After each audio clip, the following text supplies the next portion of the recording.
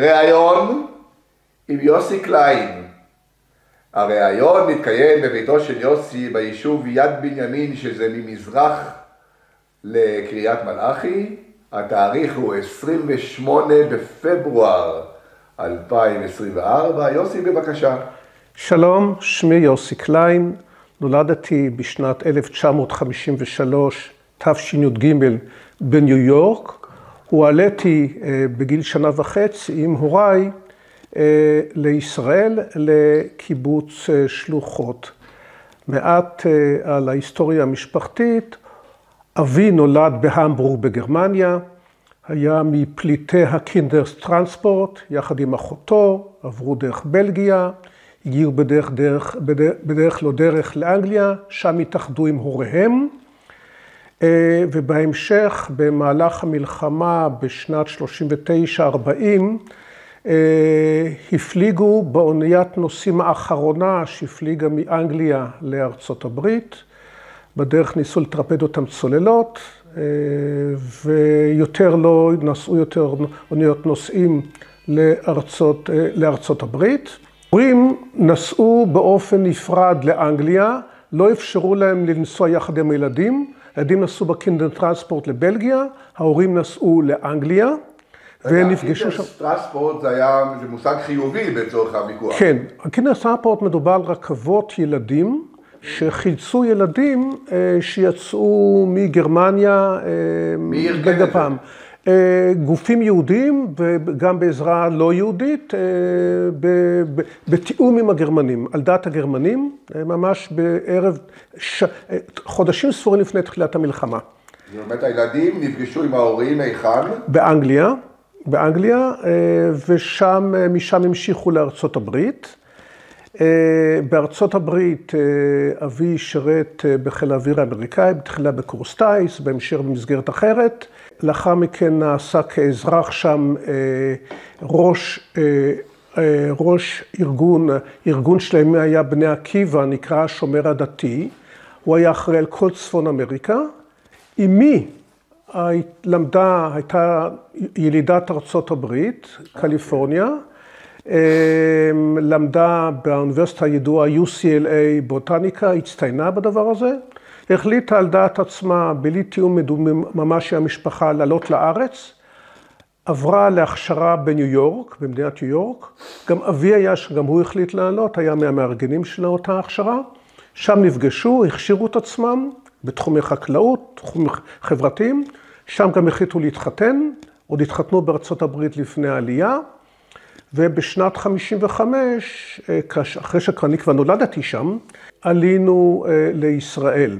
אגב, סיפור מעניין על האונייה שבה עלינו, עלינו באונייה ארצה.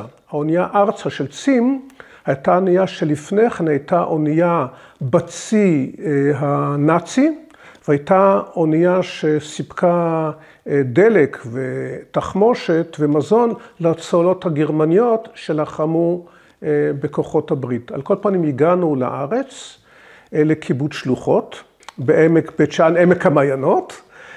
קיבלו אותנו, קיבלו מאוד יפה, באמת קליטה מאוד, רק אפשר לומר דברים נהדרים אנשי הקיבוץ.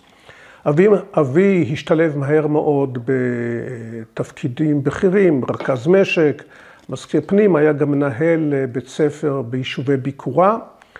אמי מקוש, מתוקף התמחותה בבוטניקה, עבדה בבית ירח באוהלו, יחד עם פרופסור סטולר, שהיה חתן פרס ישראל, היא עבדה איתו יחד בתחום של הנבטת תמרים, והגיעו לביצועים בעמק הירדן, ביצועים יוצאים מן הכלל. ואני למדתי, גדלתי שם בגן הילדים, לפני כן כמובן בבית תינוקות, בגן, במעונות, בגן הילדים. בית ספר היסודי המשותף בשדה אליהו, משותף לארבעה קיבוצים. כן, טירת צבי. טירת צבי, טירת צבי, שדה אליהו, עין הנציב וקיבוץ שלוחות, בית ספר נפלא. עד שעזבנו את הקיבוץ לישיבת כרם ביבנה, וזה נבע מכך שביקשו מאבי לנהל את המקום, לנהל את אותו ישיבת, אותה ישיבת הסדר. זה היה בשנת 65-6. בית שאן זה מקום של שילוב של אנשים נפלאים. וחקלאות יוצאת מן הכלל, ומקום גם רקע היסטורי נהדר. הלכתם ברגל ברחבי טיילנו לגלבוע, טיילנו לאזור אה, הירדן עד נקודות שאפשר, גם כמובן שהגענו לאזור יותר צפוני, לאזור הכנרת, טיילנו בכל האזור שם, היה פשוט נהדר. ששת הימים כבר היינו בכרם ביבנה, אני זוכר שחפרו, גם עזרנו לחפור שוחות, שוחות, והמלחמה עצמה פרצה בשעה שהיינו ממש ליד קיבוץ חצור. אתם הייתם בני... היינו, היינו, הייתי בן 12. את ההמראות מחצור אה, ראינו, שמענו, כבר לא ידענו מה מדובר. הלכנו לבית הספר בקיבוץ יבנה, מרחק הליכה קצר מאוד. אה, לפתע הייתה אזעקה, נכנסנו לשוחות ועברו מעלינו מסוקים, היו לסיקורסקי 50 ו-58, החיילים נופפו לנו בידיהם, הבנו שקורה משהו, אה, והמלחמה עברה אותם, אנחנו היינו כמובן במקום, אבי כבר היה מבוגר, בשלב זה לא היה מגויס, אה, וכמובן אי אלה מאנשי המקום היו מגויסים, גם חלקם נפגעו. טוב. זכינו להיות מהראש... מהאזרחים הראשונים שהגיעו לכותל. את הכותל פתחו בחג השבוע... חג השבועות בבוקר. אנחנו הגענו לשם בשעה ארבע לפנות בוקר. אבל אה, זה כבר היה אה, מנוקה? לא היה מנוקה עדיין, זה היה טרום ניקוי, טרום הניקוי הגדול. היו עדיין אה, חלקי, היה לא עד כדי ככה, זה היה באמצע, באמצע תהליך של עבודה של פינוי הרחבה. הגיעו שם מאות אלפים, שמחה עצומה, התרגשות בלתי רגילה. היה קשה שם פשוט קשה לזוז, אבל כן, זה היה במהלך הטיפול בפינוי של אותה שכונה ערבית שהייתה, אבל זה כבר לא היה המעבר הצר הזה לגמרי. המשכתם לטייל גם בבית לחם? עשיתם כבר את הטיול הגדול? לא, כמובן לא באותו יום בחג השבועות. במשך דרך הגענו כמובן לכל אותם מקומות, אה, דרומה, צפונה, הכוונה גם לאזור, גם עמק דותן צפונה, גם לאזור גוש עציון, גם לחברון, בית לחם, לכל האזורים הללו, כן. באתי אה, בין אה, שירות צבאי של שלוש שנים לבין ישיבת הסדר, שמשלבת שירות צבא ושירות, ושירות צבאי מלא, וישיבה. אה, בסופו של דבר החלטתי לעשות את אותו שילוב, אה, גם של צבא וגם של ישיבה. הצטרפתי לישיבת ההסדר באלון שבות, בראשותם של הרב עמיטל והרב ליכטנשטיין, זיכרונם לברכה, ענקי רוח. שם אגב פגשתי גם בין השאר את הרב זאב וייטמן, שבהמשך הצטוותתי איתו, גם אנשים בטנק, גם אנשים אחרים. אה, למעשה, ישר בסיום התיכון, מיד אחרי מבחני הבגרות, עוד בסוף יולי, מיד יומיים שלושה אחרי מבחני הבגרות, התגייסנו. זה היה ביולי 71, סוף יולי 71. אה, התחלנו בטירונות חי"ר במחנה 80. אה, היינו שם מספר חודשים, הגענו לרובעי 7, אה, יחד עם אימון גדודי. לאחר מכן חזרנו לתקופה מסוימת ללימודים בישיבה, במה שמכונה שרת, של"ת, שירות ללא תשלום. היינו ללא תשלום של הצבא. ובהמשך נקראנו חזרה על פי תוכנית להסבה לשריון. אה, ועברנו הכשרת מקצועות בג'וליס. אני עשיתי מקצועות צריח, מפקד המגמה שלנו בתותחנות היה עצמון יניב. אה, זוכר את התקופה הזו מאוד לטובה. אה, וכן, נקבעתי כתותחן. בהמשך... בשוט קל. בשוט קל, כן, כבר על גרסה טובה יותר, לא המטאור. בהמשך הדרך עברנו למחנה נתן, גדוד 82. המג"ד היה עמרם מצנע. מאוד התחבב עלינו באותה תקופה, באמת. אגב, הוא גם למד איתנו תלמוד, מעניין, באמת היה מוכשר מאוד. אה, שם אה, סיימנו את, אה, את, המקצ... את, ה... את האימון צמ"פ, זה צוות מחלקה פלוגה. לאחר מכן חזרנו תקופה מסוימת לישיבת ההסדר, עוד פעם ללימודים. חזרנו ללימודים בישיבה, זו מתכונת ההסדר, שעובדים לסירוגין, חלק הזמן משרתים בצבא, וחלק אה, נמצאים בישיבה, מתואם עם הצבא. אה, כך בעצם הייתה מקום של שירות לסירוגין. וכאמור, בזמן שפרצה מלחמה, למעשה ברובנו היינו בישיבה, חלקם היו באיזה מסגרת של רבנות צבאית, שירתו בבסיסים שונים כשליחי ציבור. אני בפועל הייתי בבית, ונקראתי ביום כיפור אחר הצהריים קיבלתי צו, צו גיוס. אה, נלקחתי לגדוד שלנו, לחטיבה שלנו, חטיבה 217, גדוד 113, בפיקודו של אסף יגורי. יצרנו בבית דרס ליד באר טוביה. אגב, אצלנו לא עשינו עדיין שום אימון הקמה, את הגדוד עצמו לא הכרנו, לראשונה הכרנו אותם אה, במקום עצמו. עוד פעם, הגענו חבורה של תלמידים מישיבת ההסדר, שהכרנו זה את זה, אבל מכיוון שהגענו בליל, במוצאי יום כיפורים, כל אחד הגיע בזמן שהגיע, ציוותו ציוות חירום, כל מי שהגיע. במקרה שלנו הצטבצתי עם ישראל רוזנברג, שהיה איתי הטנק אשר גם בצמ"פ, ועם חבר אה, שלא לא הנהג המקורי, חיל בירנבום, מהישיבה בהר עציון, והמת"ק שלנו היה, אדם שלא הכרנו, ישראל, סגן ישראל כהן מקריית טבעון, שהתחבב עלינו מיד, יותר מאשר הוא היה מת"ק, היה גם מ"מ, הוא היה גם באמת אדם אבהי מאוד. התחבבנו מאוד, הבלגן בבית דרסי הגדול, הספקנו להצטייד ב-30 פגזים, כאשר בית הטנק בתקן זה 72. כמעט ולא תחמושת קלה על אוכל, היינו בצום, מי מדבר בכלל? התותח לא עבד. התותח לא עבד. אה, אבל הנוהל היה נוהל יציאת חירום על גבי מובילים, ואנחנו בתוך הטנקים על גבי המובילים, הכיננו גדוד המילואים הראשון שירד דרומה. אז הכל היה בחירום. למעשה כבר במוצאי יום כיפור לפנות בוקר, היינו בדרך דרומה, לא היינו הטנקים הראשונים, היו טנקים נוספים מהגדוד שעוד קדמו לנו.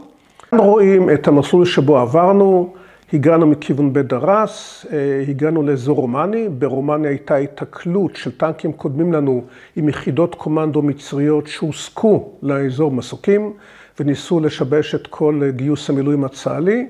הם הצליחו... אז רגע, הגעתם לרומני? הגענו ב, ב, בסופו, כבר בסופו של קרב של טנקים קודמים לנו, עם אותן יחידות, אה, עם אותה יחידת אה, קומנדו מצרית. הספקנו לצערנו לראות את החיילים ההרוגים שלנו ואיזשהו זחלם עשן, אבל אנחנו הגענו כבר בסופו של הקרב. בהמשך הדרך אנחנו המשכנו לכיוון בלוזה. אה, בבלוזה תיקנו לנו לשמחתי את התותח. תסביר מה זה תיקנו את התותח, לא היה ירי? לא היה ירי, פשוט לא היה ירי. במעגל ירי מצאנו שאין ירי. כן. פירושו תותח בעצם, נסענו טרקטור שרשראות, אבל בלי, בלי שום אמצעי ירי, אבל כאמור בבלוזה תיקנו את התותח. אה, ובלילה שבין יום ראשון לשני נקראנו אה, לעזור בחילוץ חיילים מהמעוזים. תא השטח הקונקרטי שלנו היה אה, מוצב מילאנו, די בצפון התעלה. התבקשנו לראות ירי עקיף לכיוון המצרים שיחשבו שיש כוח גדול. בחסות אותו ירי עקיף, אנשים מוצב מילאנו יצאו החוצה, חילצו עצמם מהמוצב לכיוון שלנו. לצערי, הייתה שם תקלה מאוד כאובה, ומאחד הטנקים ירו לכיוון החיילים, ואחד המחלצים את עצמם מהמוצב, ואחד נהרג. אספר מעט על המטק שלנו, ישראל, סגן ישראל כהן, שנהרג למחרת ביום, ביום, ביום שני. בשמיני באוקטובר. כאמור, הכרנו אותו רק אה, מבית דרס, אה, והוא סיפר לנו באמת על משפחתו, היה, היה נשוי לרותי, כבר הייתה להם בת, והוא סיפר שאשתו בהיריון. הוא נראה כאמור יומיים לאחר מכן. לאחר מכן, כשפגשנו את אה, אלמנתו, את אשתו רותי, הגענו אליהם מדי שנה בשנה, באזכרה שעשינו בשנה ה-30, סיפרנו את הסיפור הזה שהוא, שהוא סיפר שהיא בהיריון. אמרה, מה? איך הוא ידע? מסתבר שהם שלחו אה, בדיקה לבד... אה, לבדוק אם בהיריון, עוד לא קיבלה, הם עוד לא קיבלו תשובה, והוא גויס המלחמה. היא כל כך התרגשה לדעת, שבאמת בעצם הוא הבין שהיא בהיריון, באמת לימים אחרי תשעה חודשים, נולד אלם חמודות, אה, עופר, שאנחנו גם בקשר איתו מאז המלחמה. על כל פנים המשכנו, ביצענו אותה משימה מול מוצב מילאנו, ו... חלק כאמור חילצו את עצמם, למחרת בבוקר, אה, זה היה כבר יום שני, שמיני באוקטובר, אה, התבקשנו לנסוע דרומה, אה, ואגב פגענו בהרבה מאוד טנקים בדרך, אני אוכל להראות לרגע, צו הגיוס שלי, צו החירום שעליו רשמתי תוך כדי קרב את מספר הטנקים והנגמ"שים והחי"ר שפגעתי בהם בקרב ליד קנטרה. אה, כתוב שם למעלה שלושה, אה, מצד שמאל, מצד, כן. כן, למעלה שלושה טנקים, כך וכך נגמ"שים מהחי"ר. תוך כדי קרא ממש, באיזו רגיעה שאני קצת מתפלל לעצמי, רשמתי את הדברים. אוקיי. בהמשך הדרך, בבוקרו של אה, השמיני לאוקטובר, קיבלנו פקודה לנסוע דרומה, לכיוון גשר פירדן. נאמר לנו שכוח קד... קודם חצה כבר את התעלה ואנחנו נצטרף אליו. הגענו למקום, לאזור מזרחית לגשר פירדן, בצהרי יום שני. חלפו על פנינו טנקים שהגיעו מכיוון הגשר, עברו בינותינו, שישה טנקים, ולא אמרו לנו מילה, משהו באופן מסורג עברו, עברו בינינו, לא הבנו, לא הבנו מה זה. לימים נודע לנו שלמעשה זה גדוד 19 בפיקודו של רדיני, שכבר נכנס הבוקר לגשר פירדן, ניסה לחצות את התעלה ונכשל, היו להם המון הרוגים. הם עברו דרכנו ולא היה שום קשר ולא סיפרו לנו על האירוע הטרגי הקשה שאותם הם עברו. ואנחנו כאמור בצהרי היום מתקדמים לעבר גשר פירדן. הפקודה הייתה לעלות על גבי גשר שהמצרים הציבו במקום ולחצות עליו. נשמע קצת סיפור הזוי. כן. איפה בדיוק נמצא הגשר? מי יודע? גשר לא... פירדן. גשר, ואני אסביר. גשר פירדן היה גשר רכבת שנבנה בתחילת המאה הקודמת. נועד לרכבות, לא לאמצעים אחרים, אבל הגשר, ורואים אותו, גשר ענק, הצירים שלו פוצצו במלחמת ששת הימים, כך שבעצם הגשר בלתי אוויר, בלתי אוויר לחלוטין.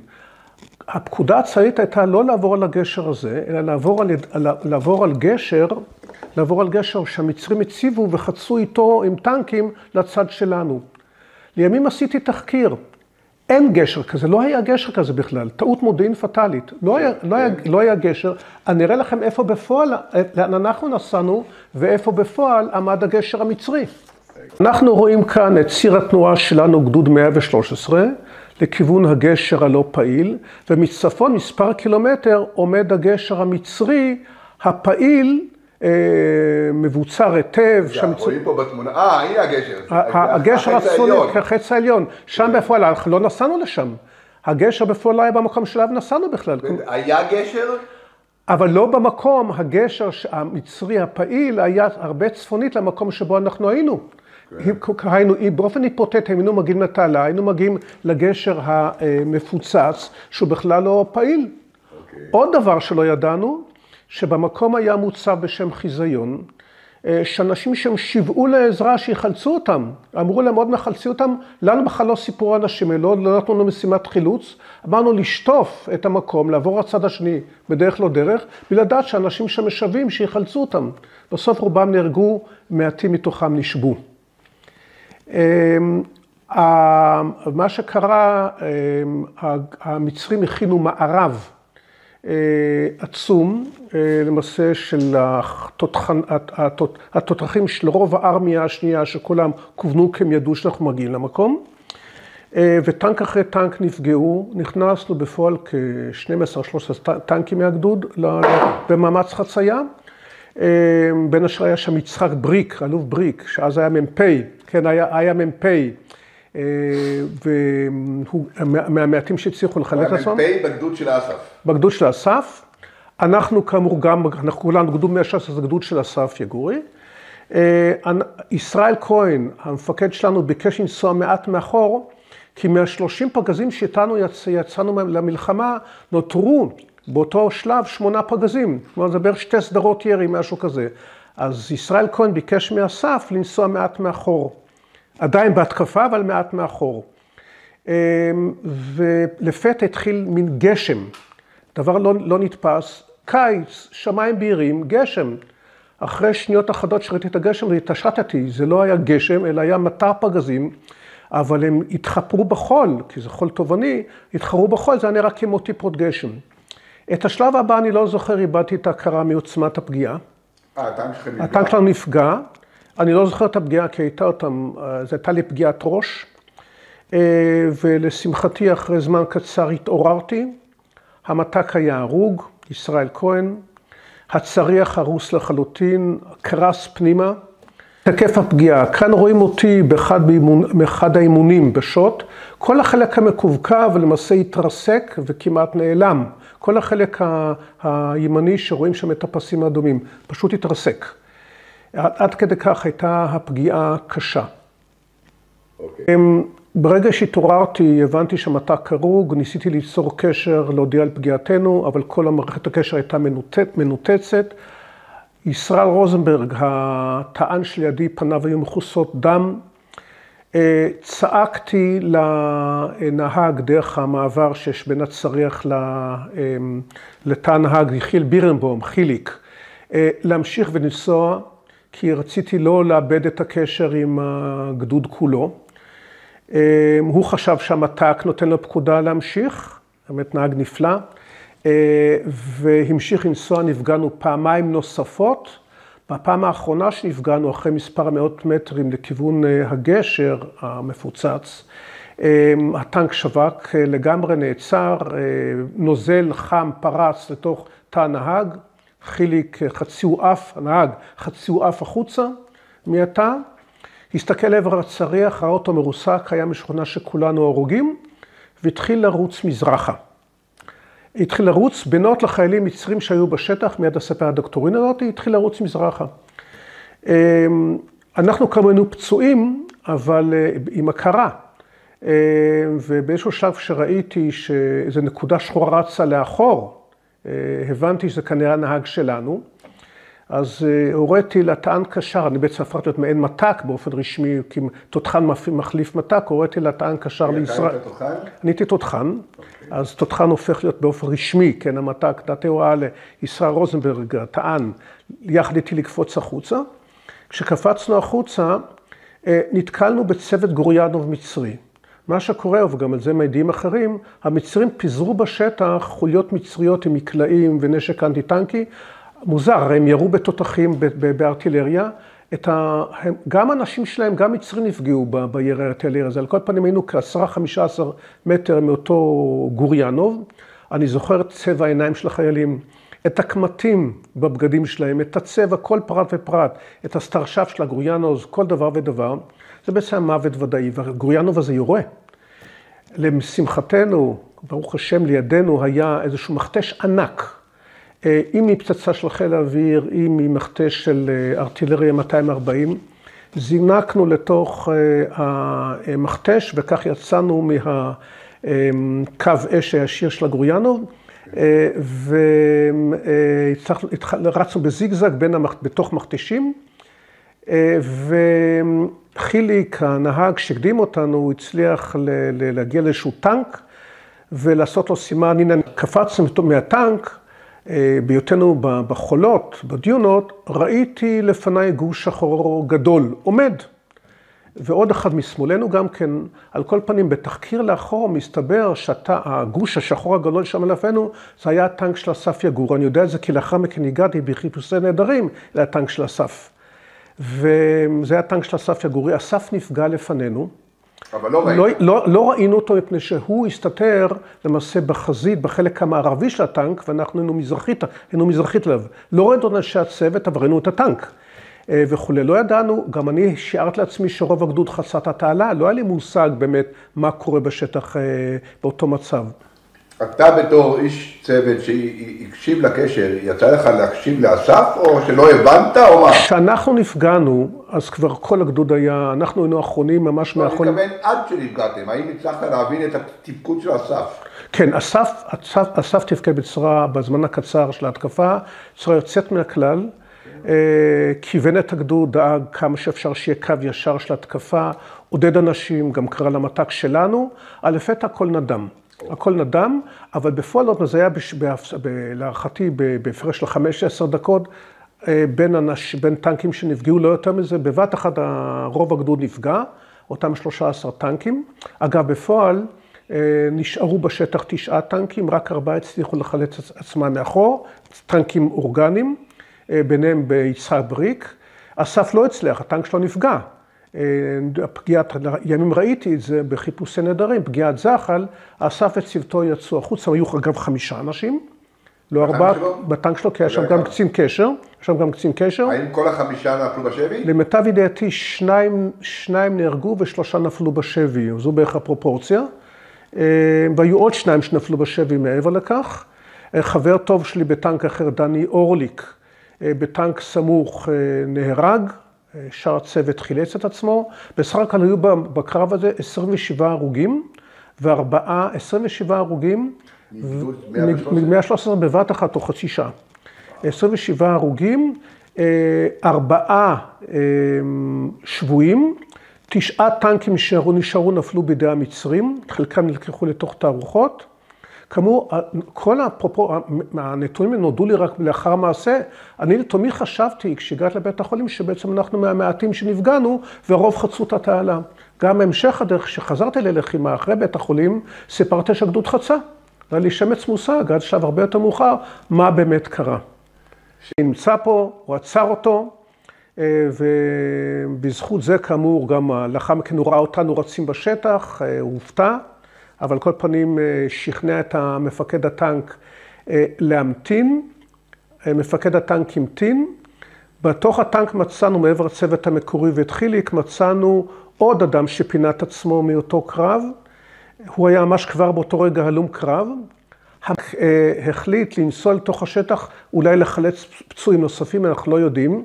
אבל אותו הלום קרב אה, כיוון אליו את העוזי שלו, לאותו הלום קרב היה עוזי, ואמר לו, אם אתה נכנס לתוך השטח, אני יורה בך.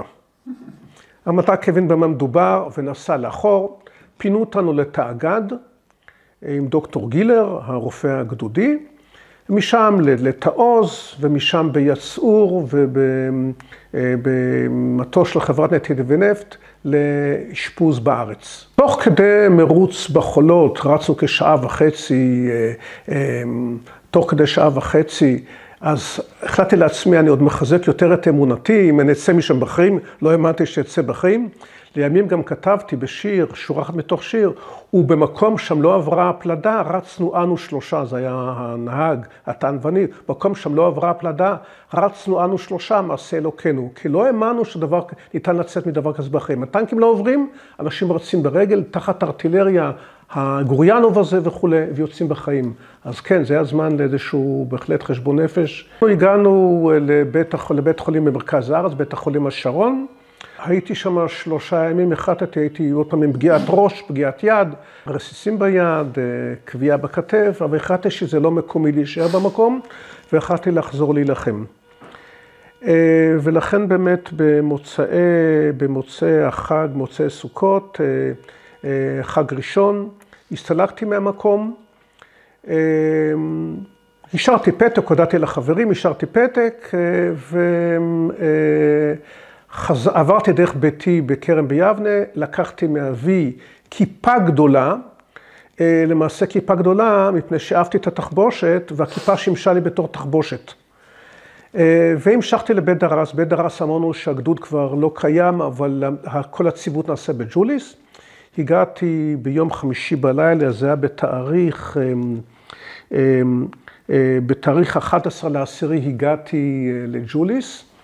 אמ, חיפשו אבי ועוד אדם, נודע להם שבעצם אני ברחתי מבית החולים, כנראה שבית החולים מתקשר, הגיעו למפקד המחנה, הוא הבטיח להם מפה הוא לא יוצא. על כל פנים, ביום שישי, הם לא מצאו אותי לשמחתי, ביום שישי אה, הגעתי למקום שבו שם מצטווים מטנקים, שם מצאתי את הרב זאב וייטמן, אז עוד לא היה רב, כן, החייל, איש ההסדר, אה, זאב וייטמן, אבל הוא כבר היה משובץ יחד עם תותחן ונהג. ואני החלטתי שאני עושה את המעשה לא אתי, המאוד לא אתי, ומנסה לשכנע את התותחן שירד מהצוות הזה. כן. הבחנתי אותו בסיפורי הקרב שלי, במה שראיתי, לא דבר אתי, ואמרתי לו, אני כבר מנוסה, תראה מה קורה, אנשים נפצעים וכולי נהרגים. זאב קצת עזר לי בשכנוע. התותחן, יאמר זכותו, החליט לעבור לו לצוות אחר, והשתבצתי באותו טנק. ביום שישי ושבת ציוותנו את הטנק בכל הציוד, 72 פרגזים, הפעם היה את הזמן. לקראת אה, מוצאי, מוצאי השבת יצאנו, ירדנו עם הטנק. למעשה, אנחנו היינו על איזה פולקסווגן, הטנק כבר היה על, על, על מוביל, וכך ירדנו.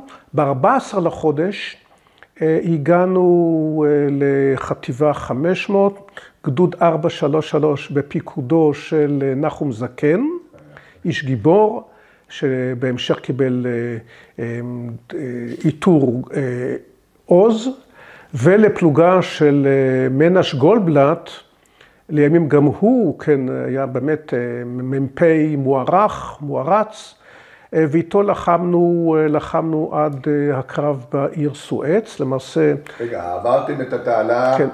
שאתם הגעתם לתעלה, כבר היא הייתה כבושה. אנחנו, כן, קודם כל נסביר דבר אחד, אנחנו נלחמנו בצד, ה... בסיני, אנחנו בין השאר לחמנו, השתתפנו בהשמדת החטיבה T-62, החטיבה ה-25, שעלתה מדרום לצפון להשמיד את הגשר. ובני קרב, תנאי ירי מאוד קשים של שלושה, ארבעה וכמעט חמישה קילומטר, ירינו על השיירה בתנועה. היה באמת מאוד קשה, אני אומר, זה לי כתותחן, לראות במרחקים כאלו שבשוטקל זה לא דבר רגיל, בשיירה בתנועה הגעתי למצב של הסטת אה, צלב הירי שמאל 20, זה תנאים בלתי אפשריים לחלוטין. איך קרה, אני גם שאלתי את וייטמן, איך קרה שנזקקתם לשמאל 20? מפני שהשיירה נסעה במהירות אדירה. אה, לא בגלל שלא היה תיאום כוונות. לא, התיאום היה... דרך אגב, היה לכם זמן לעשות תיאום כוונות? אה, באותו, נדמה לי שבאותו שלב כן, כי גם עברנו ממה שמכונה חווה יונה לחווה לאן מחניון לחום לילה. דומני שעשינו, אני לא זוכר את זה במאה אחוז, דומני שכן. אה, גם, גם פגענו. אני אומר לזכותו של הרב זאב וייטמן, שבאמת הוא גם באמת עבד כמו שד מבחינת הטענת הפגזים, כי עבדנו שם בצורה רצחנית. ולהטעין עוד באמת עשרות פגזים זה אחרי זה, עבודה לא רגילה בכלל, הכל היה מאור פנים. שכחתי להזכיר, המת"ק שלנו היה אדם בשם אלכס בור, אה, הנהג היה איציק אה, שריג. כשראינו בתותח, ראינו מרחק העצום הזה, מצרים נופלים. אבל מה זה מצרים נופלים? המרחק הזה זה מקלות נופלים. כי הרי לא רואים באמת דמות וכולי. ואז תוך כדי קרב חלפה, חלפה בי המחשבה, כשיורים בתותחים, מפילים רק מקלות. כשנועצים חרבות, משמידים עולמות. הפריע לי שמצד אחד אנחנו עושים משימתנו והיא משימת חובה, הגנה לארץ, מצד שני שאני קצת רגש שאני רואה אנשים נהרגים, את הדמות מאחריה, גם הוא יצרי וגם הוא אויב, הוא עדיין אדם. כשיורים בתותחים מפילים רק מקלות, רואים מרחוק איזה מקל קטן נופל, אין את הרגש, מי שנלחם בחרב זה יותר קשה, אבל רואים את האדם עצמו. וזה, כל זה, תוך כדי, תוך כדי הירי. תוך כדי, תוך כדי ירי. ולאחר מכן, אה, דומני ב-18 לחודש חצינו את התעלה, עדיין הגשר הרפסודות. זה עוד לא היה הגשר, הגשר הקבוע, אז עוד לא היה גשר הגלילים. זה היה גשר הביניים. היה בהתחלה רפסודות בפני עצמם. אגב, ששניים מחברינו שם נפלו, טנק נפגע ונפלו, יעקב פרידמן ואליהו ליברמן נפלו עם הטנק לתעלה וטבעו. אנחנו כבר היינו בחיבור הרפסודות לגשר אחד, עברנו על הגבה דומני ב-18 לחודש. הגענו לצד השני לדיר סואר, אה, שדה תעופה, מחנות ודיר, ושם היה, הותקפנו קשות מאוד בארטילריה. היו, היו נפגעים. עוד פעם, יאמר לזכות נחום זקן המג"ד ומנש, אה, מנש גולדבלט, המ"פ, שמת, נהגו בקור רוח רב, בשום שכל, בהרבה מאוד תבונה. היו צריכים כל פעם להחליף צוותים מפני שאנשים נפגעו. ואז קיבלנו את המשימה לנסוע דרומה, היינו ממערב אה, לאגמים, דרומה לכיוון סואץ. המשימה העיקרית שלנו הייתה לכבוש פרחים. אני אסביר רגע מה זה פרחים. פרח. מהו פרח? מדובר על בסיס טילים, אה, טילי סאם 2 וסאם 3, שהיו פזורים במספר גדול מאוד לאורך גדות התעלה. אה, במקרה הזה זה באזור שממערב לאגם המר. בצילום מלמעלה. כן, צילום מלמעלה. אנחנו רואים פה מסביב את עמדות הטילים, באמצע את מרכז הפיקוד. אנחנו קיבלנו פקודה לכבוש פרח אחר פרח, כלומר אה, מוצב אחרי מוצב של טילים להשמיד אותם, כדי שחיל האוויר, כדי שחיל האוויר יוכל, אה, אה, יוכל אה, לפעול ללא הפסקה. וכך נענו דרומה, עברנו בדרך את ג'בל ג'ניפה, שמעל האגם, נכנסנו שם לתוך מערב, אדם שלנו נפצע שם קשה ונסע עיוור, אבל גם היה שם מראה מרהיב לכיוון האגמים, פשוט מראה מרהיב, גם צריכים לדעת ליהנות בקרב במובן הטופוגרפי. אז באמת נהנינו מאוד שמה. זו הייתה הפעם הראשונה שבעצם יצאנו ממש מהטנקים החוצה, כל הזמן נשארנו בתוך הטנקים, ישרנו בתוך הטנקים, אכלנו גם את הצרכים בתוך טנקים. הפעם הראשונה שיצאנו באמת מהטנקים היה שם, ואז גיליתי שאני לא יכול להוריד את הקסדה שלי, כי פשוט נדבקה ל, לראש, לפציעה. אז נשארתי עם הקסדה גם בשעת הפסקה על גבי הראש. אה, לאחר הפסקה חזרנו, המשכנו דרומה, ואני אדלג כעת ל-24 לחודש, אה, לקרב על הסואץ. כאן אנחנו רואים את נתיב הגעתנו לעיר סואץ אה, ביומה האחרון של המלחמה. רגע, זה למטה זה אה, מפרץ סואץ? למטה זה מפרץ סואץ, אה, ולמעלה יותר זאת העיר סואץ. אנחנו רואים שם את כיוון הגעתנו. והתעלה זה מצד ימין? והתעלה היא מצד ימין. אה, זה, זה השפך הדרומי של תעלת, הקצה הדרומי של תעלת סואץ, שמתחברת עם העיר סואץ. אגב, משמאל זה מוצב המזח, לא רואים אותו בפועל, אבל שם עד מוצב המזח. הגענו אה, לפאתי העיר, אה, כאמור עם גדוד 433 פיקוד של נחום אה, זקן, וקיבלנו פקודה בבוקר להיכנס לעיר ולכבוש אותה אם היא לא סטלינגרד, כלומר אם אין שם איזו התבצרות חריגה. המודיעין היה לקוי, אני זוכר, למרות שאחרים לא בטוחים שהדבר הזה היה, שדובר על כך שכוח מודיעין בדק את המקום ולא מצא שום אה, חששות להתנגדות משמעותית, לא כולם מאשרים את המידע הזה. על כל פנים, בסביבות אה, שעות הבוקר, בין תשע לעשר, התחלנו לנסוע לתוך העיר. הגדוד היחיד שלמעשה פרץ פנימה בציר המרכזי, ציר קהיר סואץ, גם בקוד אה, סיריוס נקרא ציר סרג', היה הגדוד של נחום. אה, אנחנו, הפלוגה של מנש בראש הגדוד, ואנחנו הפלוגה שלו, הטנק השלישי. מנש בראש, הסמ"פ לוריה שני, אנחנו שלישים, ואחרינו המ"מ פטר גובר שנהרג בהמשך אותו קרב. נכנסנו בתחילת הדרך, אה, הכל היה שקט בבתים הראשונים, אה, עד שהגענו, מעט ירי, לא משמעותי, בהמשך הגענו לאזור משטרת L40, נפתחה אש תופת אה, מהגגות, מתוך הבתים. עכשיו, מכיוון שהרחוב היה לא כל כך רחב. בוא נגדיר משהו. אז המפקדים עוד ישבו, נסעו עם מדפים פתוחים. כן, המפקדים היו כולם עם ראש בחוץ, גם בזחלמים עמדו.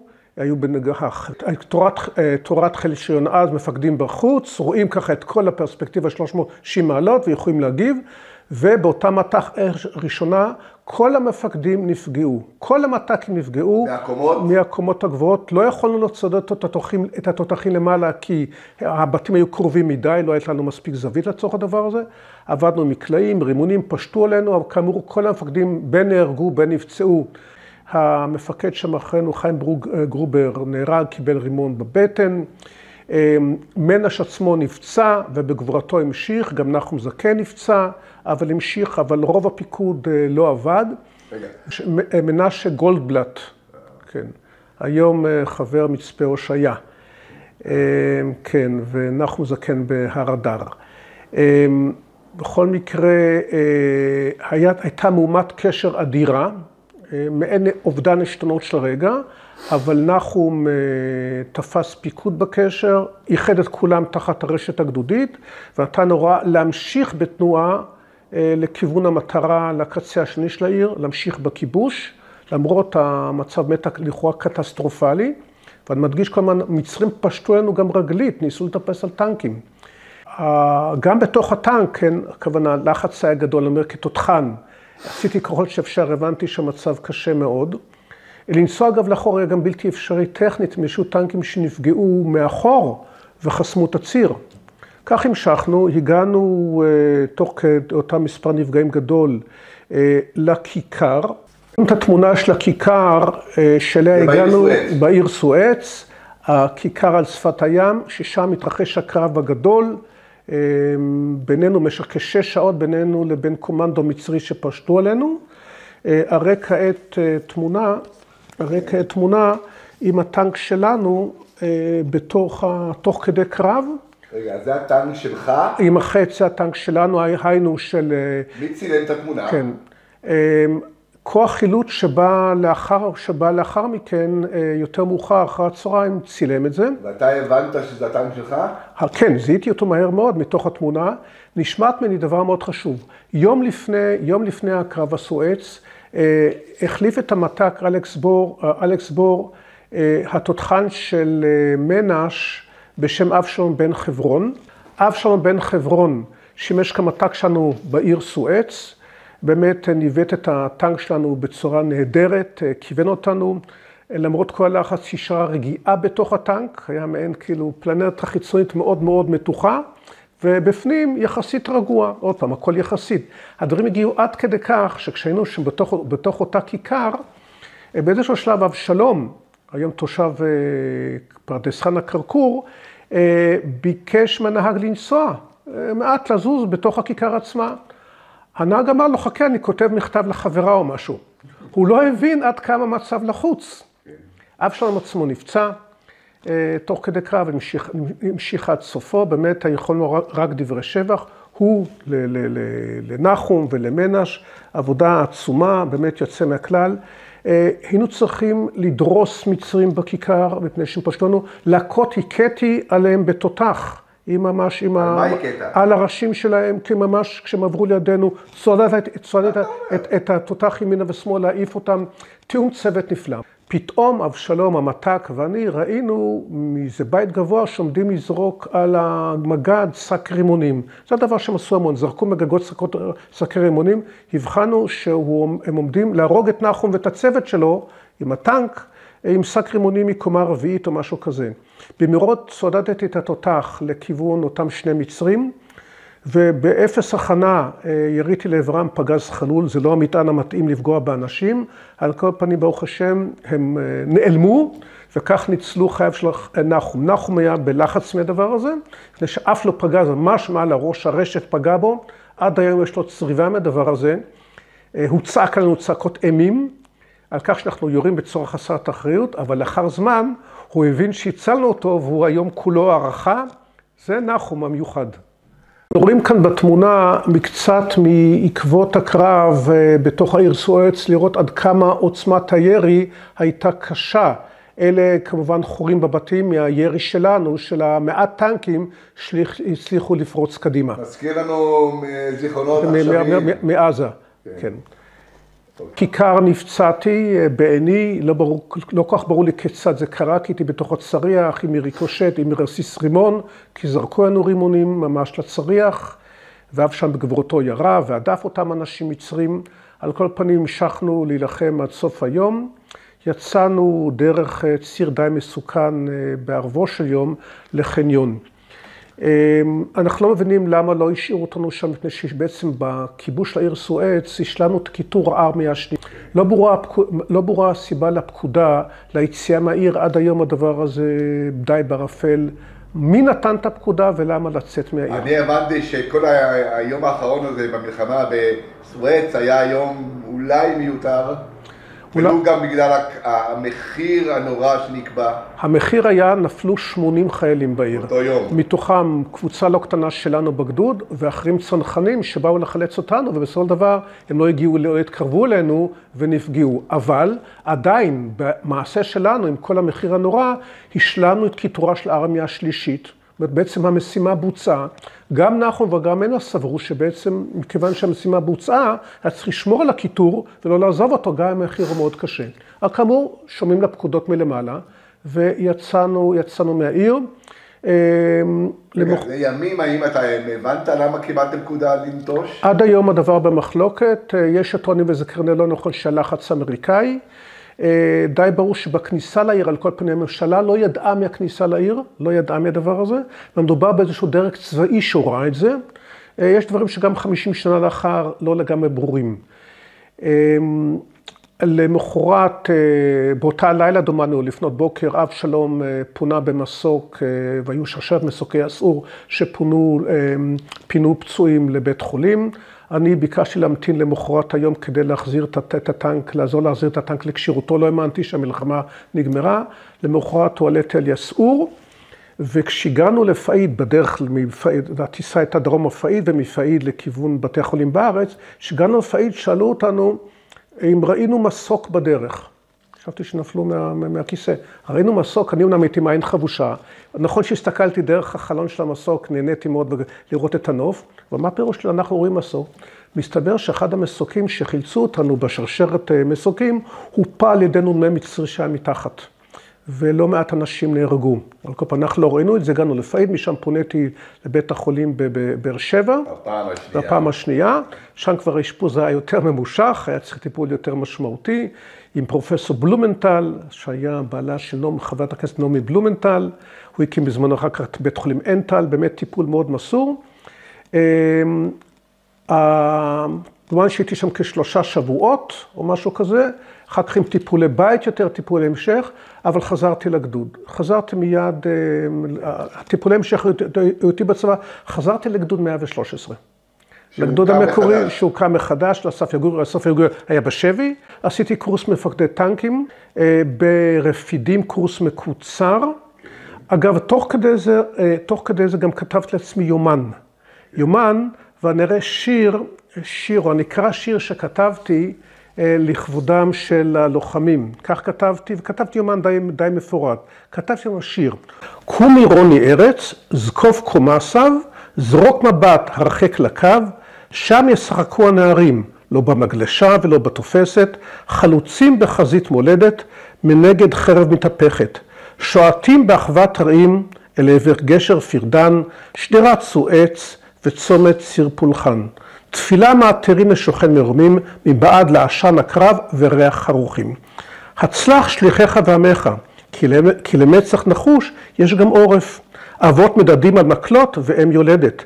הורינו העניקו חיינו מרחם, ואנו נקדשם בגופנו. אנשים תבנית מלאך, אלה לוחמייך. זה כתבתי כאמור כשלושה שבועות או משהו אחרי המלחמה, מתוך באמת הערכה לכל האנשים הנפלאים שהיו איתנו בסביבה. כמוני חוזר, עשיתי קורס מת"קים, חזרתי לעשות, לעשות סמ"פים בגדוד 113. יום אחד מופיע מעל הצריח, הייתי בתוך הצריח, מופיע מעל הצריח דמות. מהר מאוד זיהיתי אותו המג"ד, יצחק בריק, הוא כבר נעשה מג"ד לאחר המלחמה. הוא שאל אותי, יוסי, בדחילו ורחימו, האם אתה מוכן לעזור להיכנס לשטח הפירדן, ששם אסף נשבע ו-27 נהרגו, לחזור לתוך הארמיה השנייה ולהוציא את ההרוגים, לסייע בהוצאת ההרוגים. אומר את האמת, ברגע ראשון הייתי חלחלה לי, כאיזה תוך טנקים מפוצצים. דבר, לא הייתי בחברה קדישא, לא בשום דבר, לא, ולעשות דבר הזה. התעשתת עם יושב תוך שנה או שניים ואמרת לו, יצחק, בוודאי שכן. הרי זו משימה עליונה להחזיר את ההרוגים שלנו, לא עושים שום חשבונות אישיים. וככה החל מסע די ארוך שנמשך חודשים. הייתי צריך להגיע ליחידת איתן, איתור נעדרים, ששם היה אדם נפלא בשם ירח פארן מקיבוץ צאון, שהוא ריכז את המחקר, את החקירה של גדוד 113. אבל מתי נפגשתי איתו? כשהגעתי, יצאתי לחופשות, אחת לתקופה ארוכה, מסיני, היינו באזור המיתלה, למרכז הארץ, חופשות נדירות. אני קיבלתי קצת חופשות, כי הייתי צריך את הטיפול בעין. אז פה ושם נפגשתי עם ירח, הוא תחקר אותי, באמת עבודה נפלאה. דומני בסביבות פברואר או משהו כזה, סוף סוף ניתנה הוראה והתיאום המצרים לצאת לאזור גשר פירדן, בתוך ארמיה השנייה, האזור שנכבש בידי ארמיה השנייה. בפעם הראשונה שהכנסנו, הגענו, נפגש על המצרים, אמרו אתם לא נכנסים. למה? כי היינו ללא זקנים, אני הייתי צעיר לימים, ללא זקן. המצרים אמרו, מבחינתנו נכנסים רק רבנים. אתם בלי זקן? אין. לא הסכימו שניכנס. חזרנו לעכבנו. רגע, היה לכם זמן להתגלח? לא, לא הייתי עם זקן, הייתי צעיר, הייתי בן 19. התגלחת? לא, לא, לא, אה, אז באותה תקופה, אני חושב שכן, כי זה היה, עוד פעם, זה היה כבר תקופה יותר רגועה. אבל לא גידלתי זקן.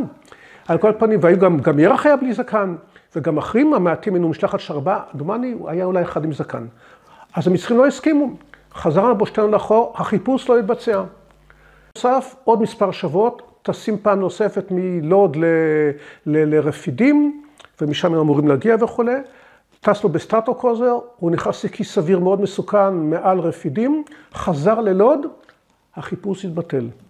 רק הפעם השלישית שהגענו, המצרים הסכימו להיכנס, אגב, סופר לנו שהייתה מחשבה בצה"ל להדביק לנו זקנים, ואז החליטו שהדבר הזה הוא תרמית גדולה מדי מסוכנת, לא נכונה. הסבירו למצרים שפה מדובר, לא כל, לא כל אדם שקשור לרבנות או משהו, הציגו אותו כאנשי רבנות, לא כולם עם זקנים, המצרים נעתרו. נכנסנו תחת משמר כבד של מצרים, היינו ארבעה, ועם קצין או"ם מצרי. לא עברתי שום, שום הכשרה של זיהוי חללים, זה פשוט היה דבר פרוביזורי. נכנסנו בדרך, עברנו טנק ואמרו, ז'גורי, ז'גורי. בתוך הג'יפ המצרי, במשמר כבד של מצרים, עצרו ליד טנק פטון מגח, ואמרו, ז'גורי, ז'גורי, זה הטנק שלו, של אסף יגורי. זהו הטנק שהראו לנו. בפועל זה לא הטנק של אסף, מפני שזה פטון, ואסף היה, אסף היה בשוט. מה שקרה הוא שזה טנק מגדוד 19 שנפגע בבוקר בשמיני. הגענו, חיפשנו שם גם טייס בשם שמעון אש, היה יושב ראש קברניטי טייס אל על באותו אזור, המצרים העלימו אותו, ידוע שהוא צנח. ועד היום הוא בחזקת חלל צה"ל שמקום קבורתו לא ידוע. חיפשנו אותו, אחר כך הגענו לטנקים. ירח ביקש להיכנס לתוך אחד הטנקים המפוצצים, אני נכנסתי דרך תא המפקד, הוא דרך תא הטען. הוא רחן פנימה לתוך הטנק המפוצץ עם הריחות ולא התאר מהשעה שם, הרים איזה דבר קטן, אולי שלושה, ארבעה, חמישה סנטימטרים. לא אמר מילה. פרץ דמעות שטף אותי. זה חלק ממה שנותר מאנשים בטנק שהתפוצץ. ופשוט החלטנו בין טנקים ואספנו מה שאספנו, אגב היו גם הרוגים מחוץ לטנקים. בהיחווה בתוך הטנקים רשמתי לעצמי פתקאות מה אני מוצא ובדיוק איזה טנק וכולי, כדי שאחר כך המידע הזה יוכל, כי המצרים היו בחוץ, כדי שאחר כך הדבר הזה יוכל לשרת את, את, את הזיהוי. רגע, תגיד, כאשר אתם עסקתם בזיהוי הזה, היה לכם כבר איזושהי משנה סדורה כיצד להתנהג? הכל נעשה באינטואיציות, עוד פעם, ירח כראש הצוות היה בעל ניסיון, אבל בגדול המטרה הייתה לאסוף מכל טנק נתונים מרבים, מקום שמספר הטנק נשאר מספר הטנק, לתעד כל דבר אפשרי כדי שצוות התחקיר מאחור, לאחר מכן יוכל, יוכל לעשות. הדין לא שייך השרפה הייתה נוראה.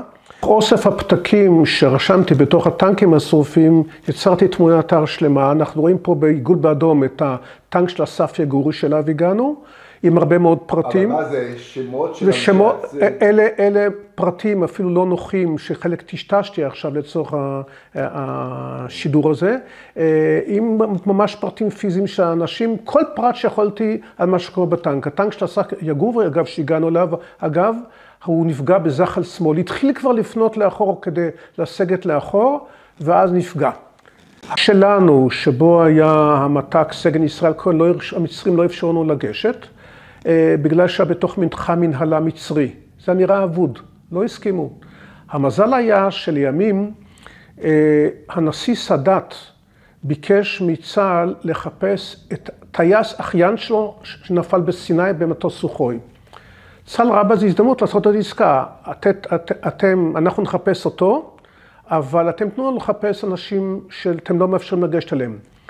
ואכן מצאו בדרך לא דרך את אותו אחיין, אגב אישה בדואית עזרה במציאתו, סיפור בפני עצמו, או כל בעזרתו של ירח פארן, ואחרי שהסיפור נגמר, אז ביקשו משר החוץ קיצ'נזר, שיפנה לנשיא סאדאת ויבקש תמורה, שייתן משהו. הוא אכן הפקיד בידי גורם כלשהו מכתב. כל מי שמציג מכתב זה, צריך לפתוח את כל המכונות המצרים לחיפושים. וכך גם הגיעו למת"ק שלנו, ואני לא, כבר לא הייתי באותו חיפוש, ירח פארן היה שם, איך הוא זיהה את הטנק. א', לפי צורת הפגיעה שאני אמרתי, אבל דבר נוסף, הוא מצא שם שמונה קרקובים, השמונה פגזים, כפי שתיארתי, בדיוק באותם מקום היו, הפגזים התפוצצו, הקרקובים נשארו. כלומר, גם צורת הפגיעה, גם צורת הפגיעה וגם מספר הפגזים היה זיהוי ודאי, זה פשוט הלא יאומן. אם הוא גם כתב את זה בעיתון ומאוד התפעל מזה, שבאמת כל המידע שמסרתי לו, עזר לו מאוד, עזר לו מאוד בזיהוי. המשכתי בשירות הסדיר, ת"פ של ישיבת הסדר, תקופה, המשכתי בשריון. עד? עד שנת 74 כסדיר. חזרתי, עוד הייתי בישיבת הסדר, לאחר מכן חזרתי לביתי, בהמשך הדרך למדתי באוניברסיטת בר אילן, תואר ראשון, שני, שלישי. השתבצתי שם בצוות האקדמי בסגל המרצי וטיפלתי, טיפסתי בסולם האקדמי. מה עשית לפרנסתך? הייתי מרצה, מרצה באוניברסיטת בר אילן בפקולטה לחינוך. בהתמחות של מנהיגות וניהול מערכות חינוך. וזה אתה עושה עד היום? והיום אני ממשיך ועושה את זה כגמלאי. פרשתי לפני כשנה וחצי. ואני נהנה מהעבודה הזו עד עצם היום הזה. אני רוצה לדבר כעת על שמירת הקשר במשך כ-50 שנה עם משפחת כהן, משפחתו של המת"ק סגן כהן שנפל בטנק שלנו. רואים פה בתמונה. רואים, כן. אנחנו מגיעים לאזכרות של משפחה נפלאה, מלח הארץ, אשתו אלמנתו רותי, שהקימה בהמשך עוד משפחה, עם בתם הבכורה ליאת, הבן עופר שנולד אחרי המלחמה, האחות נעמי לחמן. אנחנו מגיעים לאזכרות, כאן רואים אותי יחד עם, ה... עם רותי כהן, האלמנה, והבן עופר שנולד אחרי המלחמה.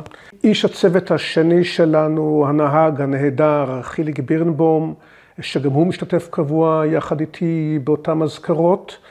וכאן רואים את האחות נעמי לחמן והאלמנה רותי כהן ליד אותה, ליד אותה חלקת קבר. אנחנו, אנחנו כאמור שומרי המשפחה קשר במשך כל אותם שנים, ורק יכול לומר מילים של התפעלות איך הם באמת מחזיקים בעוצמת רוח, באהבה גדולה של הארץ, ורק אפשר ללמוד מהם עוד ועוד. חנה פגש לראשונה בשנת 78, היא למדה במכללה בירושלים, ואני אז למדתי בבר אילן.